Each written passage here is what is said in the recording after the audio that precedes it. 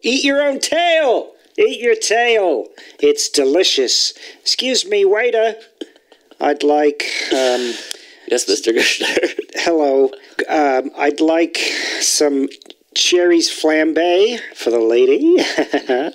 and I'll have my own tail. All right, so that's cherries flambe for the lady. Um, you're sitting here alone. Uh, your tail or a tail? My tail, that's the whole point. Because to have Drammer, you've got to be feeding in on yourself. Do you understand? Just watch the best franchise ever made. The Friday the 13th franchise. That's how I learned to do the Empire Strikes Back sequel by looking at Friday the 13th parts 2 through 4. And then I made Empire Strikes Back with the little goblin man and um, his father. There was a Yoda? there was a kid with a father, is what I remember. Yes, Darth Vader was the father to Luke Skywalker Oh, you in wrote your film. No, you directed it. Did I now?